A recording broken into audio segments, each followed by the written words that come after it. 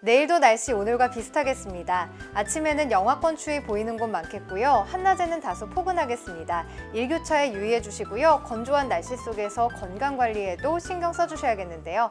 그럼 자세한 내일 날씨 살펴보시죠. 내일도 오늘과 비슷합니다. 아침 기온 영하권 추위 보이며 쌀쌀하겠지만 한낮에는 10에서 15도가량까지 기온 오르며 포근하겠습니다.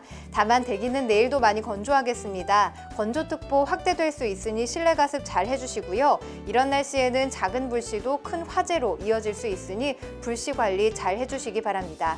모레부터는 기온 올라서 아침에도 영상권의 기온 분포를 보이겠습니다. 다만 일교차가 10에서 15도 안팎으로 크게 벌어지겠으니 유의해 주시기 바랍니다.